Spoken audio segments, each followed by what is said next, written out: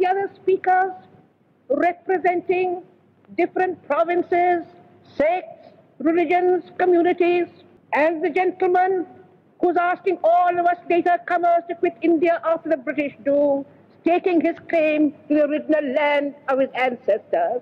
They've all spoken, and one thing they have been united, and that is on the question of Rajendra Prasad.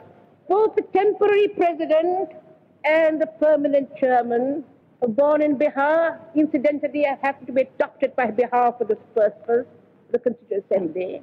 That both had imbibed something of the qualities of that great Buddha who was born in Bihar.